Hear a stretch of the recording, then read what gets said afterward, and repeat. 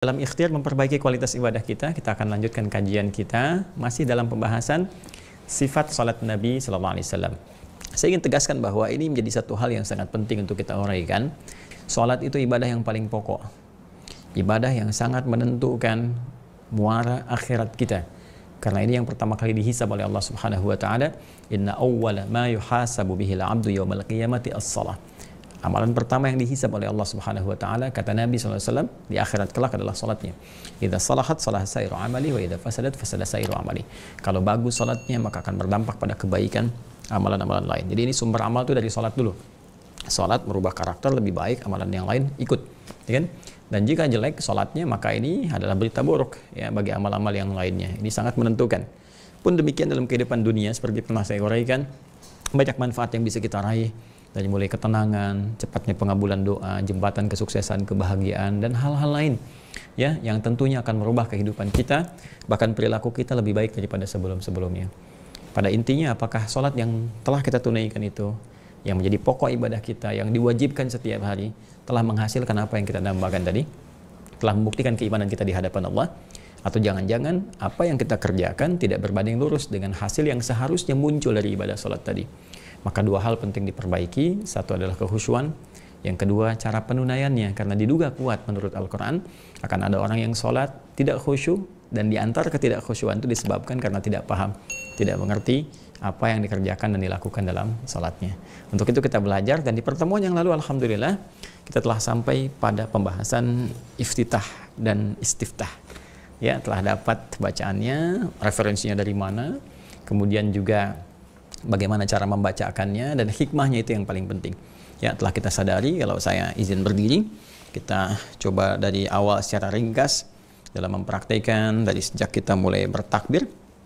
Ya, sejajar dengan bahu atau di sini ya izin saya tegaskan untuk menandakan bahwa semua hal jika sudah kita mengangkat bertakbir, takbirnya ihram, harus menanggalkan ya dan diharamkan membawa segala hal yang tidak terkait dengan sholat. Buang semua ke belakang. Pasrahkan kepada Allah Subhanahu wa taala dari kita sepenuhnya. Menghadap wa annahum ilaihi dan boleh jadi ini penghadapan terakhir kita kepada Allah dan mungkin jadi diwafatkan kita. Karena itu Nabi kadang mengingatkan ya sallu salatul muwadda' salatlah kalian seperti salat perpisahan kita dengan dunia dan mungkin akan kembali kepada Allah. Itu dorongan kepada jiwa kita untuk kuat dalam rangka menghamba kepada Allah. Kemudian mengucapkan Allahu akbar fayaqulu Allahu akbar ya komitmen pada diri kita di lisan kita bahwa Allah yang paling agung, paling hebat, paling besar menyadari sepenuhnya bahwa kita ini kecil di hadapan Allah. Tapi si kecil ini kadang-kadang membawa kebesaran dalam kehidupan itu kan. Ya, sombong terhadap orang lain, merasa yang paling berilmu, merasa yang paling kaya, paling punya kedudukan, berlaku sewenang-wenang dan sebagainya dengan apa yang sebetulnya cuma titipan dan kecil. Maka kita rasakan itu keliru, kita berniat dengan baik sambil bertakbir, kita hadirkan suasana dalam hati kita menunjukkan sholat apa yang kita tunaikan. Maghribkah, isyakah atau yang lainnya. Baik, kemudian kita bersedekah, letakkan kemudian telapak yang kanan menutup yang kiri, menjaga hati dengan baik, bawa tutupi kekurangan-kekurangan yang kadang muncul dari nafsu ini, ya segera tekan. Kalau perlu genggam seperti ini, tutupi dengan kebaikan-kebaikan seperti pernah saya terangkan di pertemuan yang lalu. Tolong lihat yang sebelumnya dulu, ya supaya tidak cepat menyimpulkan dan ada kesinambungan ya dan ketersambungan pembahasan sehingga mengerti apa yang saya contohkan sekarang. Kemudian jaga dan dari penjagaan ini kita bermohon kepada Allah supaya kita jadi lebih baik dalam kehidupan. Dalam konteks kita membuka sholat ini, dalam suasana istiftah, iftitah, apa doa yang harus kita sampaikan kepada Allah supaya kita mendapatkan pembuka yang baik, mengawali kebaikan, menutup yang jelek-jelek, bertobat kepada Allah. Nah, di sini kita selesai kemarin membahas tentang doa istiftah, iftitah baik di Al-Bukhari kemarin kita bahas di nomor hadis 744 dari Abu Hurairah itu yang Allah mabaid ataupun di Sunan uh, Abu Daud ya yang kita dapati kemarin di bab yang ke-123 apa yang harus dibaca saat istiftah dan riwayatnya dari sahabat Ali bin Abi Thalib karamahullah wajah yang kita telah bacakan bersama. Yang wajah tu sampai ke ujungnya zalam tu nafsi ya kemudian wa tu bi dzambi faghfirli ya fa innahu la yaghfiru dzunuba illa anta. Ya kita mengakui banyak dosa dan sebagainya. Nah setelah itu suasana kan menjadi enak jadi lebih tenang, jadi lebih bersih. Karena orang tobat Allah berjanji menjamin dalam Al-Quran, kan? Siapa yang tobatnya benar, siapa yang tobatnya lurus dan berniat untuk baik, ya faman wa aslaha. Siapa yang kemudian bertobat dan berusaha memperbaiki dirinya, berjanji komitmen, maka Allah akan berkenan menerimanya. Dan penerimaan Allah yang terbaik itu ketika menerima taubatnya, maka Allah akan berkenan menunjukkan jalan-jalan kebaikan. Nah, jalan apa yang akan dibuka ya oleh Allah Subhanahu wa taala melalui penunaian salat ini, maka pembuka jalan ini intinya akan dimulai lewat satu bacaan. Ya, pembuka sesuatu dari sebuah inti yang menunjukkan kepada inti sesuatu itu disebut dengan Fatihah namanya. Fatihah. Karena itu, setelah kita teman-teman sekalian menunaikan takbir, ratul ihram, kemudian juga istiftah. Jadi ini saya urutkan ya. Nah, takbiratul ihram, takbiratul ihram dan di sini juga ada niat nanti ya. Kemudian kita lanjutkan dengan iftitah atau istiftah. Ya. Baik ya, jadi saya batasi di sini dulu. Kemudian sekarang kita akan masuk ke dalam satu inti. Ya. Yang dimulai dengan bacaan. Ya. Bacaan itu disebut dengan kiraah namanya. Kiraah. Kalau bacaan spesifik berulang-ulang punya nilai mukjizat yang tinggi, bentuknya mubalaghah maka disebut Quran. Ya, makanya apa yang kita bacakan firman Allah disebut Al-Quran karena dibaca terus berulang-ulang tanpa henti, punya banyak mujizat. Orang nggak pernah bosan membacanya, orang nggak pernah bosan kemudian menghafalkannya, semua kalangan bisa baca dan sebagainya. Baik ya? Nah, jadi kalau kita ingin sifati dengan khusus bacaan saja, maka kita katakan apa? Al-qiraah. Ya pakai alif lam bisa al-qiraah untuk menunjuk pada satu sesuatu yang spesifik bacaan. Nanti apa yang dibacanya kalau dalam sholat jelas nanti ya kita bacakan pertama kali setelah istiftah istiftah ini nanti adalah Al-Qur'an. Nah, jadi nama umum untuk bacaannya Al-Qira'ah ya. Jadi kalau nanti misalnya ada di dalam hadis hadis Anda baca misalnya ba'da takbir qabla al-qira'ah. Nah, yang dimaksud qabla al-qira'ah ini jelas ke inti bacanya itu Al-Fatihah, yaitu Al-Qur'an. Ya. Al-Fatihah. Ah, saking pentingnya tuh Al-Fatihah ada alarm. Kwik, kwik, kwik, kwik, kwik, kwik, kwik. dengar, dengar, dengar, dengar. Ya, ini barangkali mobil tetangga. Atau mungkin mobil kita juga di bawah ya. Baik, teman-teman sekalian, lanjut ke sini. Ya, John, tolong matikan. Baik, teman-teman. Lihat sini ya. Bismillah. Kita akan masuk kepada sesuatu yang pokok. Pokok inti pembuka sesuatu. Ya, pembuka pokok inti disebut Fatihah. Ya, kalau kali kemarin kan pembukaan yang mengantarkan pada sesuatu. Kalau ini intinya sesuatu itu dan akan dibuka, ya kan? Maka disebut dengan apa? Fatihah. Nah, Al-Fatihah ini tentu adalah Al-Qur'an, ya. Itu adalah apa? Al-Qur'an dan sifatnya berupa bacaan.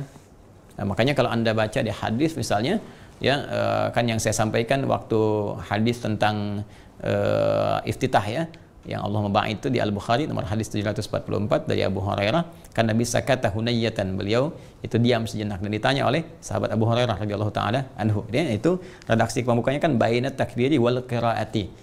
Ya di antara takbir dan bacaan. Bacaan yang dimaksudkan adalah intinya yaitu Al-Qur'an bentuknya apa? Al-Fatihah. Ke sini. Nah, dan ini menjadi rukun yang sangat penting teman-teman sekalian oh ini rukun ya rukun yang penting dalam sholat rukun yang penting dalam dalam salat. Awas hati-hati, hati-hati, hati-hati ya. Niat, takbir, nah ini Al-Fatihah untuk bacaan pertama yang menjadi rukun di dalam salat teman-teman sekalian. Ini dia.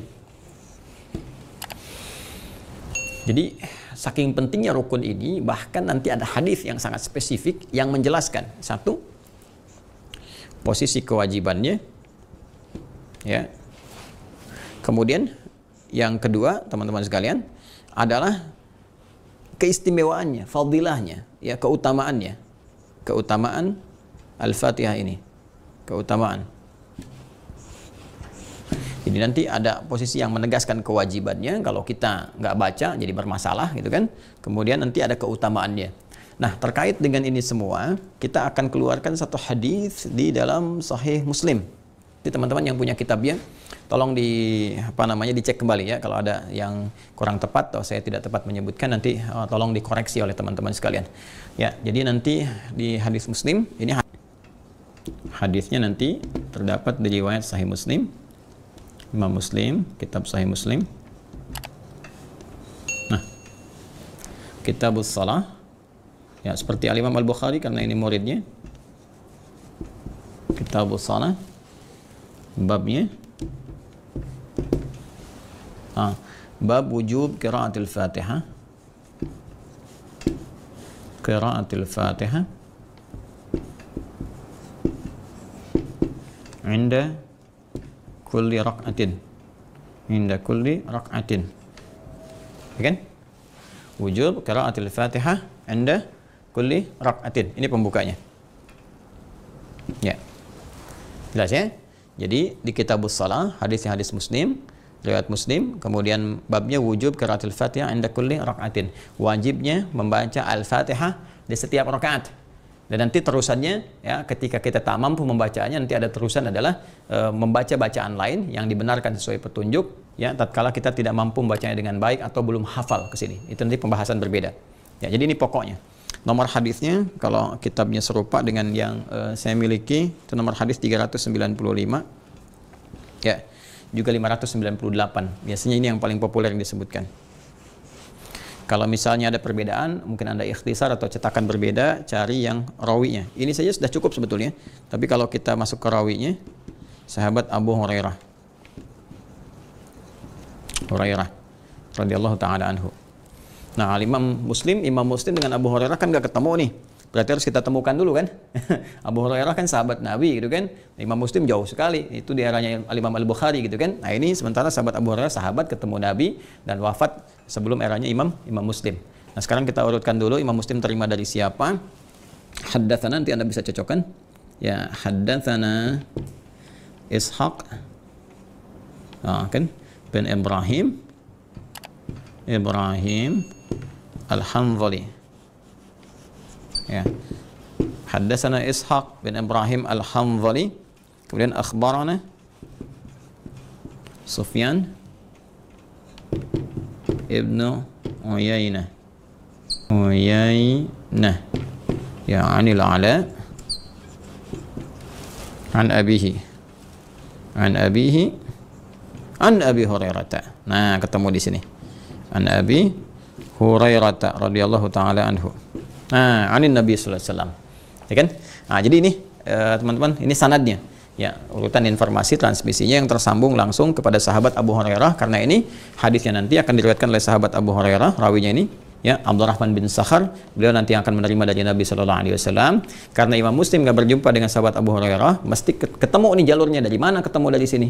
Maka kita Imam Muslim nih kalau telah menyampaikan kepada kami siapa? Ishaq nih yang pertama. Ishaq uh, dari uh, Ibn Ibrahim. Ishaq bin Ibrahim gitu kan Al Handali kan Ishaq bin Ibrahim An-Zanzul ini menerima dari siapa? Sufyan bin Uyainah. Sufyan bin Uyainah menerima dari siapa? Dari Ala. Ala dari bapaknya, bapaknya dari Abu Hurairah. Jadi jalur ini yang menyampaikan Imam Muslim kepada sahabat Abu Hurairah radhiyallahu taala anhu. Qala. Ya, beliau menyampaikan, teman-teman sekalian, awas, hati-hati, hati-hati, ya. E, di sini ada sesuatu yang penting, ke, e, ada dua bagian dari kalimat e, Abu Hurairah ketika menyampaikan hadis dari Nabi sallallahu alaihi wasallam. Qala qala Rasulullah sallallahu alaihi wasallam Man salla salatan. Man salla salatan saya bacakan di sini ya dan saya tuliskan. Man salla salatan.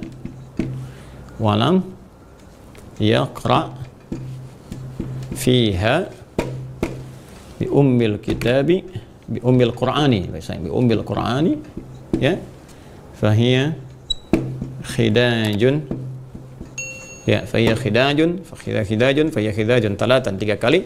Ya ai ghairu tamamin. Ghairu tamamin. Ah sampai sini dulu. Satu. Terkait dengan kewajibannya. Ya jadi kan tadi kita bahas dua kan? Satu kewajibannya Fatihah ini masih ada alhamdulillah. Kedua keutamaannya. Ya, terkait kewajibannya teman-teman sekalian redaksi hadis yang pertama dari sahabat Abu Hurairah radhiyallahu taala anhu menyampaikan dari Nabi sallallahu alaihi wasallam Nabi mengatakan man Salat salatan. Ya, tadi saya uraikan kalau Anda siang lihat di Madrasah Imam Al-Bukhari, saya terangkan tentang man. Ismun mausulun dulu alil fardiyatil amiyah. Kan? Isim mausul konjungsi kata sambung yang menunjuk kepada objek atau bahkan subjek kan sifatnya personal tapi bentuknya luas. Artinya kalau ada man itu yang diajak bicara saya, ya kita, anda, teman-teman. Jadi Nabi langsung mengkhitab kita, mengajak bicara kita. Kata Nabi, hei kamu, adi hidayat, hei kamu fulan, hei kamu fulana, itu kan? Baik, jadi man salla salatan. Hei engkau, hei siapa pun ya yang menunaikan salat satu salat. Ya salat apa pun ini. Salat apa pun, terutama yang pokok yang fardu ya 24 4 3 4. Ya subuh 2 4 zuhur 4 asar 3 maghrib 4 isya. Ya siapa pun yang menunaikan satu salat kemudian walam yaqra fiha dan dia tidak membaca di dalam salat itu ya bi ummil bi ummil Qur'ani dengan ummul Quran, Al-Fatihah. Ya, nama Al-Fatihah nanti banyak teman-teman sekalian, ya. Ada yang menghitung sampai belasan bahkan, ya. Nanti Al-Fatihah disebut ummul Quran, disebut juga nanti Asy-Syafiyah, Al-Kafiyah, Ummul Kitab, gitu kan? Jadi banyak sekali namanya sesuai dengan keistimewaannya. Biasanya satu surah kalau punya banyak fadilah, fadilah, fadilah, fadilah jamaknya fadail, punya banyak keutamaan, maka keutamaan itu pun dijadikan sebagai bagian dari namanya. Ya, Al-Fatihah ini banyak sekali, ya banyak. Dia satu surah yang dengan izin Allah bisa menyembuhkan, maka disebut dengan Asyafiyah. Kisahnya banyak tentang kepala suku yang tersengat kalajengking itu yang pernah saya sampaikan di awal kajian Al-Quran di Aqsa. Ya kan? Kemudian juga dia disebut dengan Al-Kafiyah karena isinya merangkum intisari dari Al-Quran, Al-Karim keseluruhannya. Kemudian dia Ummul Kitab, ya kan? Ummul Quran yang kembali semua isi Al-Quran itu induknya ke sini, ke Al-Fatihah. Jadi ini teman-teman sekalian. Dan Al-Fatihah dia pembuka. Kenapa disebut Al-Fatihah? Ya, karena li'annaha uh, li'annaha taftatihul Qur'ana fil mushaf. Dia membuka Al-Qur'an itu ya di dalam mushaf. Jadi dimulai dengan Al-Fatihah. Wa wassalatu tuftatahu biha dan dia juga membuka salat. Salat dibuka dengan Al-Fatihah. Karena itu tadi saya katakan pembuka inti bacaan inti dalam salat maka dibuka dengan apa? Al-Fatihah. Ini teman-teman sekalian. Nah, orang yang sholat, terus dia nggak baca pembukaannya, nggak masuk ke inti pembukaan. Kan? Ya sama aja orang mau masuk ke satu tempat gak lewat intinya, nggak buka pintu, nggak apa, tiba-tiba masuk lewat dari jendela, dari kenteng atas, bluk ke bawah kan, nggak akan diterima. Anda datang ke istana presiden, ya langsung dari atap yang robos, bluk, ya jangankan sampai ke bawah, Anda baru nyampe atap aja mungkin udah dikejar pas pampres. Ya. Nah, namun di sini masuk pembuka kan? Lewat pembukaannya, lewat intinya dan sebagainya. Baik, teman-teman sekalian. Atau Anda misalnya mau udah ketemu dengan presiden atau misalnya ketemu dengan siapalah yang Anda inginkan kan direktur atau pimpinan Anda dan sebagainya.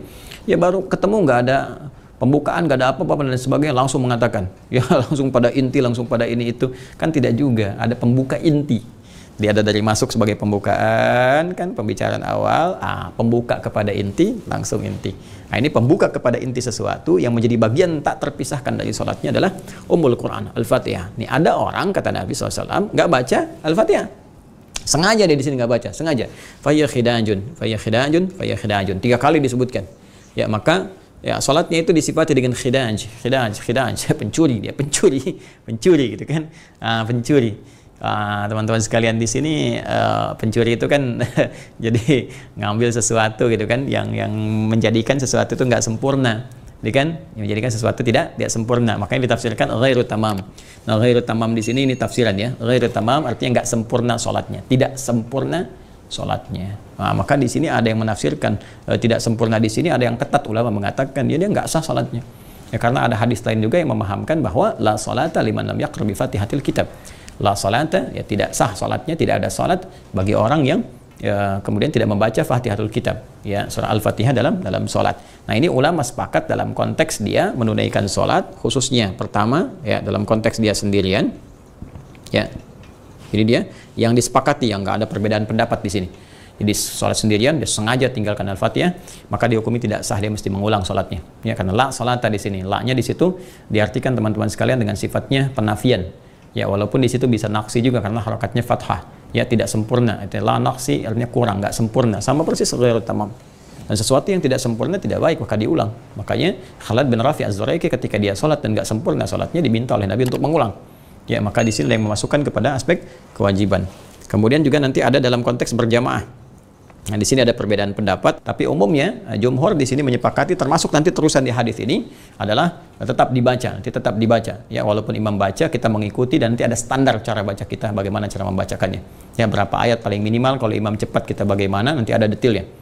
Di sini tetap membaca walaupun nanti Abu Hanifah ya, ya Imam Abu Hanifah dalam nanti madhab Hanafi mengatakan kalaupun imam sudah bacakan maka makmum diam. Maka berlaku hadis qiraatul imam ya qiraatul makmum. Inna ma ju'ala imam li yutamma bihi fa qiraatul imam qiraatul makmum. Adapun imam jadikan untuk diikuti maka bacaan imam itu mewakili bacaan makmum. Maka di Hanafi itu diam menyimak bacaannya imam ya. Tapi nanti yang terkuat saya memilih nanti yang di sini uh, jumhur ulama mayoritas tetap membaca dengan cara yang nanti kita akan pelajari teman-teman sekalian. Karena hadis tadi itu terkait juga dengan kondisi ketika imamnya sudah rokok maka apa yang harus kita lakukan? Maka muncul hadis tadi. Ya. Ke sini dulu teman-teman. Teruskan dulu hadisnya. Jadi ini yang pertama, ini dalil yang menyatakan kewajiban membaca Al-Fatihah baik kita sholat sendirian ya ataupun kita menjadi imam dalam berjamaah yaitu sudah pasti atau bahkan makmum. Nah, dari mana kemudian tetap ini dibaca? Ya, tetap ini dibaca. Nah, ini kembali kepada terusan hadisnya. Qila li Abi Hurairah. Belum selesai hadisnya. Qila li Abi Hurairah. Setelah ini disampaikan oleh sahabat Abu Hurairah, Nabi menyampaikan seperti ini, gitu kan? Maka qila li Abi Hurairah, maka disampaikan dikatakan kepada Abu Hurairah, ya. Bagaimana kalau keadaan kami ini menjadi makmum? Hah? Bagaimana kalau keadaan kami menjadi makmum? Maka kapan eh, apa kata Abu Hurairah sami atau Rasulullah SAW kata beliau bacakan ya bacakan dulu dalam dirimu baca silent ya uh, faqraha fi nafsika kata Abu Hurairah radhiyallahu taala anhu yang bermakna bacakan di dalam dirimu. Jadi sir bacakan. Jadi kalau imam bacanya jahar jangan ikutan jahar. Ya jadi jangan sampai terjadi misalnya imam baca uh, dalam sholat maghrib misalnya nanti sholatnya Bismillahirrahmanirrahim. Ada di belakang Bismillahirrahmanirrahim. Tidak. Ya Ah, apalagi begini imamnya sir, andanya jahar itu lebih aneh Joni. Saya salat duhur, imamnya sir, anda jahar sendiri. Bismillahirrahmanirrahim. Alhamdulillahirrahmanirrahim. Itu kan kedengaran. Jahar itu kedengaran oleh orang lain selain Anda. Kalau sir silent yang dengar cuma Anda. Jadi kalau Anda baca sir kedengaran orang itu bukan sir, itu jahar namanya Cepi. Ya, ya makanya kalau Anda salat sir silent ya nggak harus dikencangkan orang juga ya. Ini kembali ke sini. Yuk, kembali ke sini teman-teman sekalian. Jadi nanti ketika dikatakan pada sahabat Abu Hurairah, kami ini dalam keadaan menjadi makmum, gitu kan? Dalam keadaan menjadi apa? Makmum. Bagaimana keadaannya? Kata Abu Hurairah, "Iqra fi nafsik." Dibaca di dalam dirimu. Ah, inni sami'tu Rasulullah sallallahu alaihi wasallam. Aku pernah mendengar Rasulullah sallallahu alaihi kala beliau bersabda. Apa sabdanya? Nah, ini yang akan coba kita tuliskan ya. Qala Allah azza wa jalla. Qala Allah azza wa jalla. Baik, yuk kita hapus sebentar ya. Nah, ini teman-teman sekalian. Qala Allah azza wa jalla. Ini kita tuliskan ya. Bismillah. Qala Allah azza wa jalla ya. Qala Allah azza wa jalla. Ini dia. Ya kata sahabat Abu Hurairah radhiyallahu taala anhu ya qal sami'tu Rasulullah sallallahu alaihi wasallam yaqul qala Allah azza wa jalla. Nah, ini saya ingin garis bawahi dulu teman-teman sekalian. Nah, di sini ini isyarat kepada hadis qudsi hadis qudsi itu adalah hadis yang ingat kalimatnya, maknanya disampaikan langsung oleh Allah Subhanahu wa taala kepada Rasulullah sallallahu alaihi wasallam dan lafadznya diteruskan oleh Nabi wasallam. Ya beda dengan Al-Quran. Kalau Al-Quran lafaz dan maknanya langsung dari Allah Subhanahu Wa Taala. Lafaz dan maknanya langsung dari Allah Subhanahu Wa Taala. Jadi kalau hadis yang hadis kunci jadi diturunkan kepada Nabi Wasallam, ya kan? Lafaz yang disampaikan oleh Nabi Wasallam, tapi maknanya itu langsung dari Allah Subhanahu Wa Taala ya disampaikan kepada kita semuanya. Kalau Allah Azza wa Jalla kata Nabi sallallahu alaihi wasallam, Allah Subhanahu wa taala menyampaikan kepada kita dalam salah satu hadis, hadis kutsinya. Qasamtu shalah baini wa baina 'abdi wa li 'abdi ma sa'al. Ah, sekali bawah ya, saya tuliskan ini yang pentingnya. Ya, qasamtu as-salata qasamtu salat uh, ini di satu redaksi uh, nisfaini ya, ada saya bulati begini nisfaini. Ya, nisfaini. Ya Qasamtu salat nisfaini baini ya di sini baini baini wa baina abdi wa baina abdi wa li abdi ah ini poinnya ma sa'al Allahu akbar Qasamtu salat baini wa baina abdi. Qasamtu salat nisfaini baini wa baina abdi. Perhatikan baik-baik teman-teman sekalian. Allah langsung ingin menyampaikan dalam salah satu hadis qudsi yang diteruskan oleh Nabi sallallahu alaihi wasallam, ya lafaz dia sampai ke kita, kata Allah qasamtu salata. Saya membagi dalam salat itu. Nah, perhatikan baik-baik ya. Ini yang menunjukkan sekali lagi menekankan kewajiban Al-Fatihah yang disepakati nanti para ulama ya mayoritas di sini mayoritas bersepakat kewajiban membaca Al-Fatihah di dalam salat karena ada redaksi penekanan yang sangat kuat. Di sini teman-teman sekalian, Al-Fatihah disebutkan dalam hadis qudsi dengan as-salat. Ya, qasamtu salata, qasamtu as-salat. Ya, di sini aku membagi kata Allah Subhanahu wa taala itu as-salat yang dimaksud si Al-Fatihah. Dari mana taunya? Nanti terusan hadisnya. Ya, nanti terusan hadisnya ketika Al-Fatihah disebut oleh Allah Subhanahu wa taala sebagai salat, inti dari salat maka dari itu kalau intinya ditinggalkan kan tidak sempurna. Dia ghairu tamam. Khidaj, khidaj, khidaj. Ya kan? Dan menunjukkan persoalan serius atas sah tidaknya ya salat yang ditunaikan. Karena itu di sini eh, penekanan pembacaan salat itu lebih diutamakan. Dalam konteks ini bacaan Al-Fatihahnya ya. Qasamtus salata, saya bagi salat itu kan disfaini kepada dua bagian. Baini wa baina abdi dan ada bagianku, ada bagian hambaku. Jadi nanti di Al-Fatihah itu teman-teman sekalian, saat kita menunaikan sholat, kan, ketika Allah Subhanahu Wa Taala meminta kita menunaikan sholat dan kita memulai sholat, ya, setelah bertakbir, baca istiftah, kemudian masuk ke Al-Fatihah, disebut oleh Allah ini inti sholatnya, membuka ini inti sholat, tu sholat, aku bagi nih dalam pembuka inti sholat ini di Al-Fatihah ini, kan, nisfa ini pada dua bagian, baini wa baina abdi, ada bagian tertentu yang memang khusus untukku kata Allah. Kan? Wa baina abdi dan ada bagian hambaku. Jadi di Al-Fatihah ini sangat luar biasa. Ada satu informasi yang sangat dahsyat di hadis qudsi yang menunjukkan bahwa ada bagian kita di situ. Sesuatu yang sangat penting. Nanti kita akan lihat. Tapi jangan lupakan ada bagian Allah yang harus kita penuhi. Jadi di sini ada hak dan kewajiban. Ini ada hak dan hak dan kewajiban. Hak dan kewajiban. Jadi ada hak Allah Subhanahu wa taala. Jadi kalau sudah haknya Allah Subhanahu wa taala, berarti kewajiban kita di sini hamba. Ya kan? Ada hak kita. Kalau sudah hak kita berarti kewajiban Allah. Ingat ya? Awas hati-hati. Makanya tegas Allah menyampaikan di hadis qudsi, "Wali abdi masal." Ya, dan hak kita, hak hambaku kata Allah itu, ya hak kita sebagai hamba Allah, wali abdi dan untuk hambaku, masal hak dia apa pun yang dia minta aku akan kabulkan. Ya, apa pun yang dia minta aku akan kabulkan. Ini dahsyatnya. Jadi di sini uh, apa namanya teman-teman sekalian ada hak di sini ya hak Allah yang harus kita penuhi yaitu tadi sholat yang ditunaikan dengan benar. Ya dalam konteks ini sampai ke bacaan al-fatihah. Jadi sampai ke Al-Fatihah saja kalau kita penuhi ya hak Allah, kewajiban kita dengan benar. Niatnya benar, takbirnya benar gitu kan, iftitah iftitahnya benar sampai ke Al-Fatihahnya benar, maka di situ Allah akan berikan bagian yang paling spesial baru sampai ke bacaan Al-Fatihah saja. Dan itu menjadi hak kita.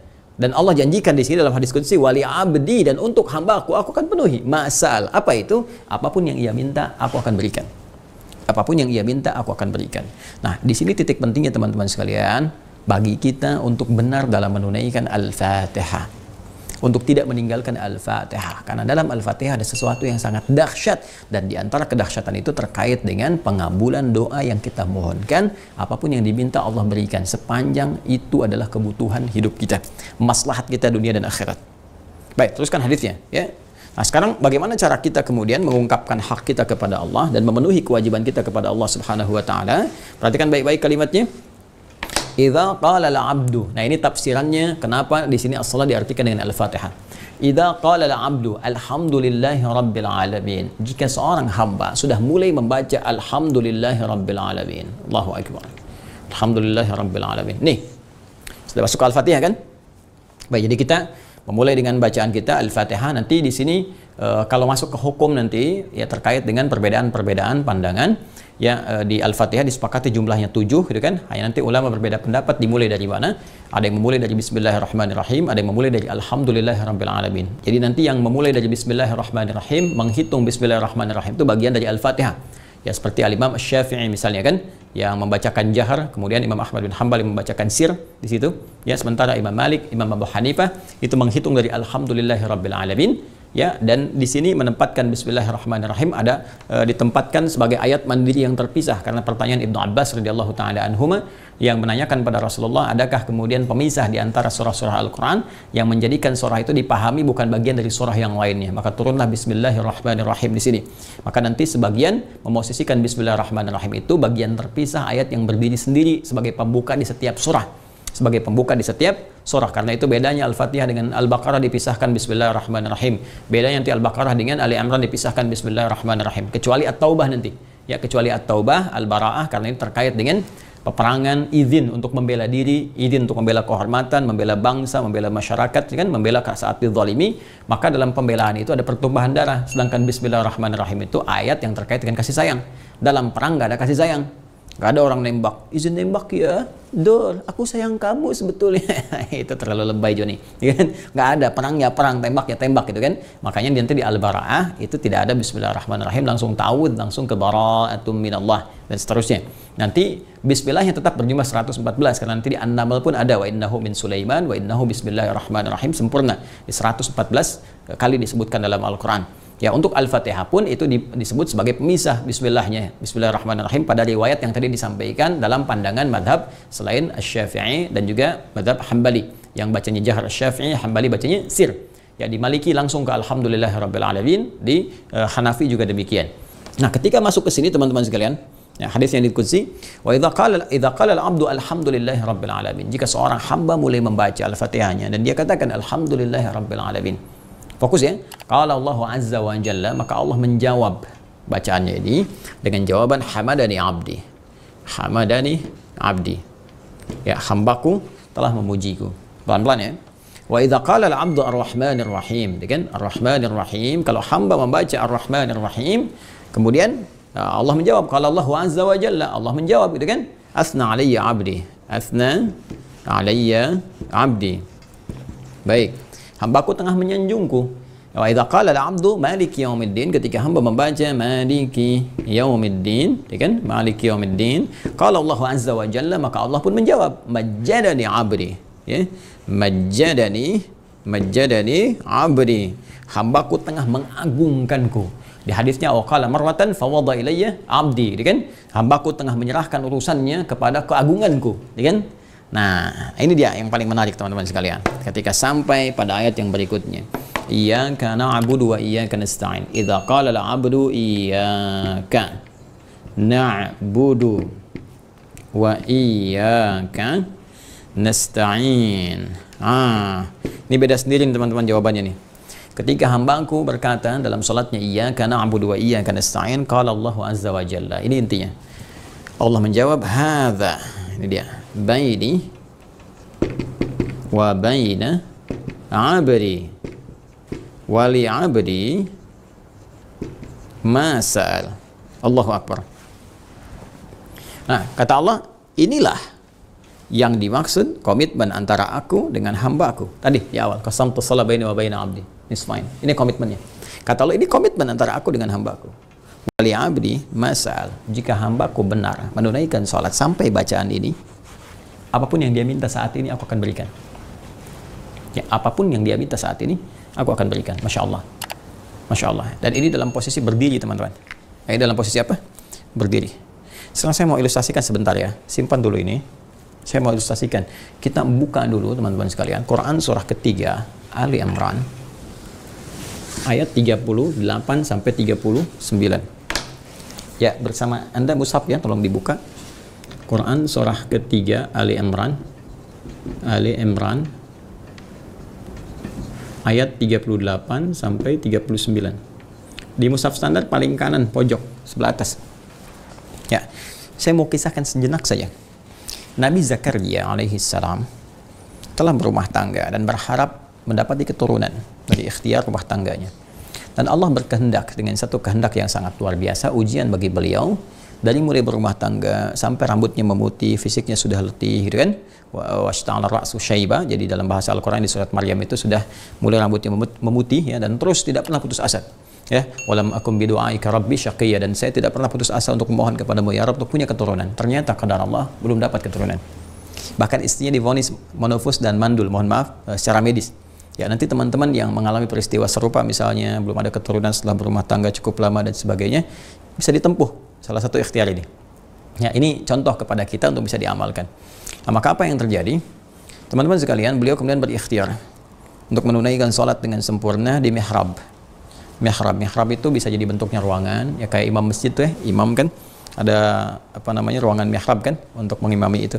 Nah, atau kita bisa bikin di rumah, bisa ruangan, atau kalau nggak ada ruangan pun teman-teman, atau di musola bisa bikin satu bagian mihrab, kita bisa jadikan hamparan sejadah aja, seperti saya pernah bikin juga begitu. Ya, dulu waktu saya pertama ke Indonesia kemudian dengan istri gitu kan ngontrak. Dan bukan aib. Ya kita mengontrak dan sebagainya kita hamparkan sejadah untuk uh, menunaikan ibadah di situ. Ya dan jadikan mihrab. Dan mihrab itu tempat yang memang khusus untuk ibadah. Jadi nggak ada yang lain-lain tuh. Handphone apa semua cerita-cerita nggak usah masuk ke situ. Ya jadi nggak bisa terima uh, misalnya telepon atau kita mohon maaf sekali ya makan di situ. Atau bikin status pun jangan. Ya ceklik selfie. Maaf ya jangan ganggu aku sedang di mihrab. Itu nggak boleh. Keluar dulu di situ Ya, nah, mihrab khusus untuk ibadah saja. Dan di antara fungsi mihrab mempercepat terkabulnya doa. Ya, di antaranya. Makanya imam kenapa tempatnya di mihrab saat dia memimpin sholat? Karena imam itu adalah puncaknya. Imam itu intinya dalam sholat yang diharapkan bisa terkabul dengan bacaan imam doa-doa kita. Ya kan? Nah, dari sini kemudian teman-teman sekalian, boleh kita punya mihrab di rumah, seperti Maryam punya mihrab, ya di ayat ke-37-nya kan Maryam ya fataqabbalaha rabbuha biqabulin hasanin wa ambataha nabatan hasanan wa kaffalaha Zakaria kullama dakhala 'alaiha Zakaria al-mihraba Maryam punya mihrab Nah, Nabi Zakaria kemudian mencoba menunaikan di mihrab itu, bermohon kepada Allah sesuatu ya yang tidak ada batas, ya seperti Maryam mendapatinya. Ya, sifat Allah yang memberi tanpa batas disebut dengan Wahab. Wahab. Kalau kita memohon kepada Allah, menyebut dan meminta dengan tulis, kita katakan hab. Untuk pribadi li, kalau banyak lana, hab lana. Rabbana hab min azwajina wa dzurriyyatina qurrata a'yun. Maka di sini Nabi Zakaria menunaikan salat. Dan saya pernah sampaikan di edisi yang awal-awal bahwa sholat itu ibadah spesifik kita sebagai pembuktian keimanan kepada Allah. Karena pembuktian keimanan makanya semua nabi umat sebelum Nabi Muhammad pun sholat. Ya, kan pernah saya sampaikan. Ya, Nabi Isa itu sholat, ya kan? Nabi Isa sholat. Ada di surah Maryam, ya, surah 19 ayat 31 sampai dengan 33. Kemudian siapa lagi? Nabi Zakaria ini saya sebutkan. Nabi Musa sholat, Quran surah ke-20 ayat ke-14. Kan, Inna di anallahu la ilaha illa ana wa aqimis salata li Nabi Ismail, ya, sholat, meminta keluarganya sholat. Quran surah 19 Maryam ayat 55 wa kana ya'muru ahlahu bis salat. Nah, kembali ke kisah Nabi Zakaria alaihissalam, maka beliau memberikan kesan kepada kita bahwa kalau ada manusia memfonis kita sesuatu yang nggak mungkin, nggak bisa, mustahil dan sebagainya gitu kan. Ini nggak memungkinkan, maka ini tanda langsung dari Allah Subhanahu wa taala untuk mohon.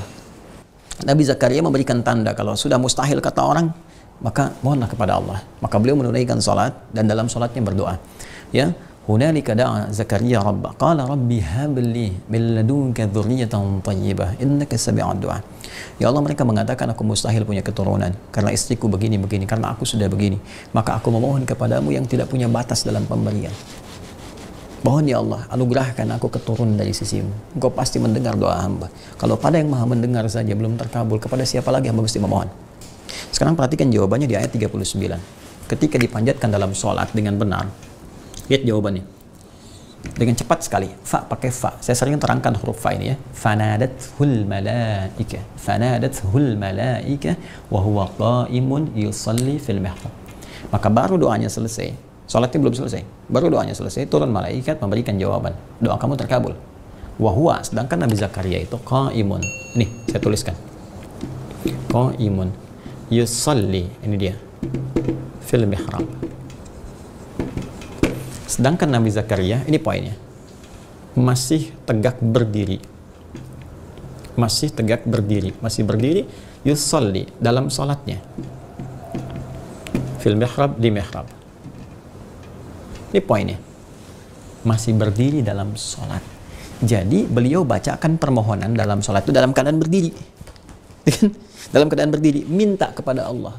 Doanya baru selesai, masih berdiri, salatnya belum selesai. Tiba-tiba turun jawaban. Ya. Sedangkan dahsyatnya kesempurnaan sholat yang disyariatkan kepada umat Nabi Muhammad SAW melalui Rasul yang sangat mulia. Karena nabinya paling mulia, paling takwa, paling dekat dengan Allah, maka kemuliaannya luar biasa. Sempurna syariat sholatnya dan bedanya dengan umat di masa lalu, teman-teman sekalian, fokus baik-baik. Umat sebelum Rasulullah, sholat dulu, minta, baru turun jawaban. Umat Nabi Muhammad SAW, sebelum tiba waktu sholat ditunggu oleh Allah. Mau minta apa dalam sholat? Silahkan minta Yuk, buka Quran surah ke 2 Al-Baqarah ayat 153. Quran surah kedua Al-Baqarah ayat 153. Ya ayyuhalladzina amanu. Hai semua orang telah menyatakan dirinya beriman kepada Allah. Ingat iman imannya dikhitab. Imannya langsung diajak oleh Allah Subhanahu wa taala untuk dimunculkan seakan menanda uh, ayat ini bahwa adakah iman dalam jiwa kita? Iman kita dipertaruhkan. Ista'inu bis sabri was salah. Ya ayyuhalladzina amanu ista'inu. Ista'inu bis sabri was salah. Ah, ini dia. Hei semua orang telah menyatakan dirinya beriman kepada Allah Subhanahu wa taala. Ista'inu jika kalian punya persoalan dalam kehidupan, masalah-masalah apa pun yang kalian rasakan. Dengan maka terimalah itu dulu dengan sabar sebagai ujian untuk meningkatkan kualitas hidupmu. Karena yang lain pun diuji. Ya, Nabi diuji, sahabat diuji, tabiin diuji. Engkau Nabi bukan, Rasul bukan, sahabat bukan, tabiin bukan. Gak pengen diuji, kamu siapa ya, Ance? ya, jadi ini balik ke sini teman-teman sekalian. Terima dulu dengan sabar. Wassalah dan mintakan solusi dari ini semua lewat sholat. Lewat sholat. Nah, sekarang apa hubungannya dengan Al-Fatihah? Lihat baik-baik ya. Ketika Nabi Zakaria meminta, Nah, masih berdiri dalam sholatnya dikabulkan oleh Allah Subhanahu wa taala. Kita umat Nabi Muhammad SAW ya dengan barakah Nabi yang sangat mulia, belum sholat sudah diminta dipanggil siap-siap saat sholat mau minta apa. Nah, sekarang perintahnya ista'inu. Nih. Ista'inu. Fokus baik-baik. Ini perintah dari Allah. Kalau kita mau katakan, teman-teman sekalian, ya Allah, kami mau sholat dan saat sholat itu kami akan meminta kepadamu. Nanti kan baik-baik.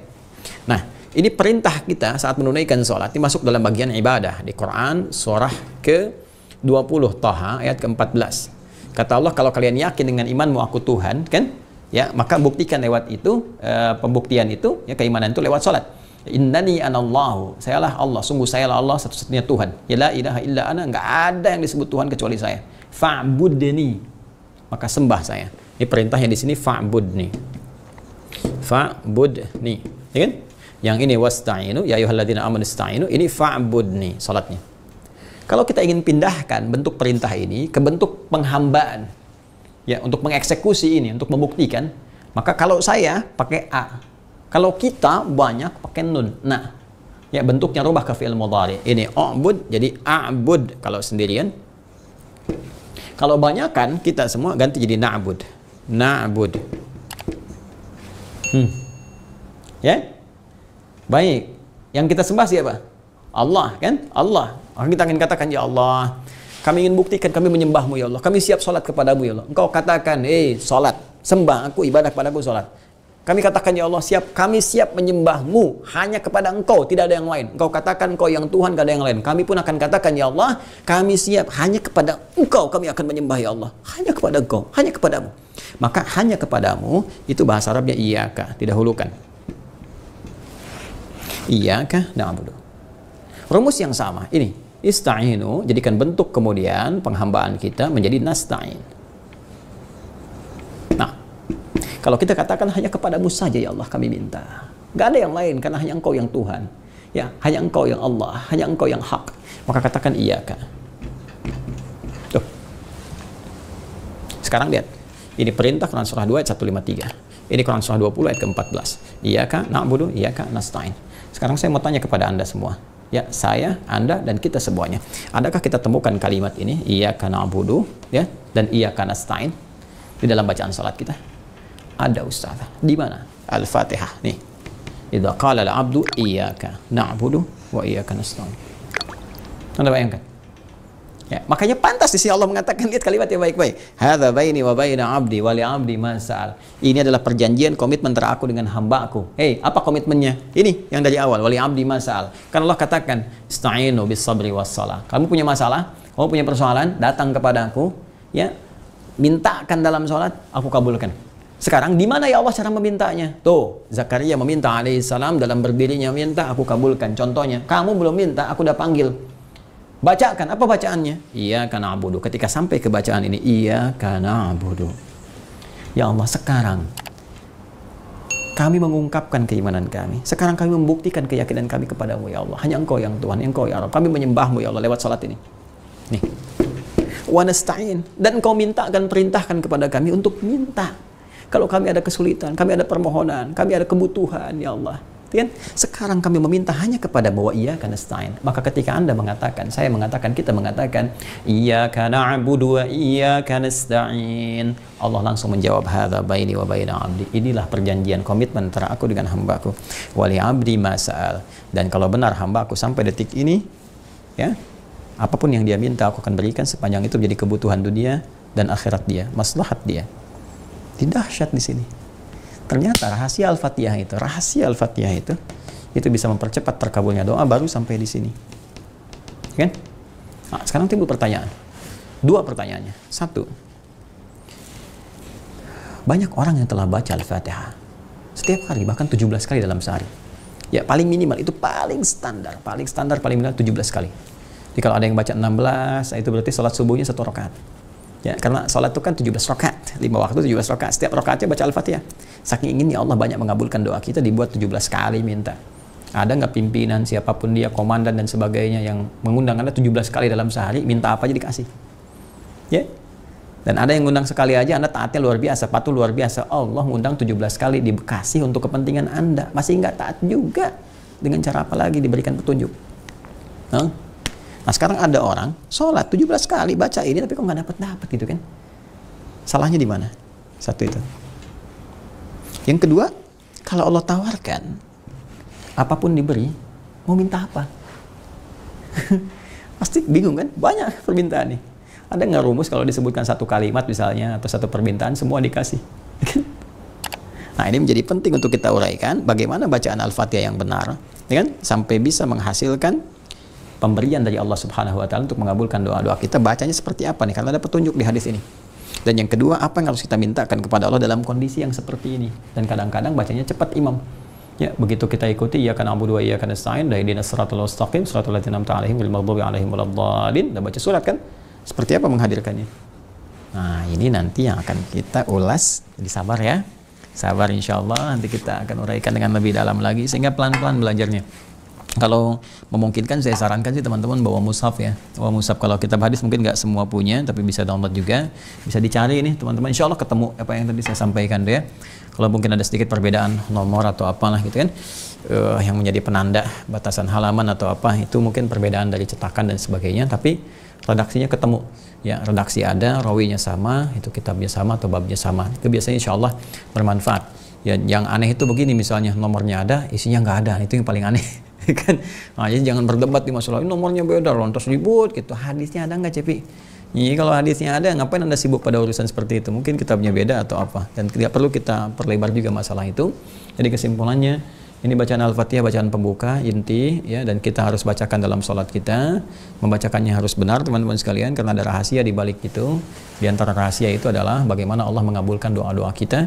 Ya saat kita bermohon dalam Al-Fatihah. Ini seperti Allah mengabulkan doa Nabi Zakaria yang dianggap mustahil oleh sementara orang. Ya, mungkin itu yang bisa kita uraikan, bisa kita bahas, mudah-mudahan bermanfaat dan semoga Allah senantiasa merahmati kita, menjaga kita dalam kebaikan dan mengampuni dosa-dosa kita. Allahumma taqabbal minna innaka antas sami'un alim wa tub alaina innaka antat tawwabur rahim. Taqabbal minna siyamana wa salawatina wa ruku'ana wa sujudana wa tammim taqsirana ya Allah ya arhamar rahimin. Wa najjina ya Allah minal qalbil azim bi rahmatika ya arhamar rahimin. Sallallahu alaihi sayyidina Muhammad wa ala alihi wa sahbihi wa ummati ila yaumiddin. Wa akhiru da'wana subhanakallahumma bihamdika nashhadu an la ilaha illa anta nastaghfiruka wa natubu ilaik. Walhamdulillahi rabbil alamin.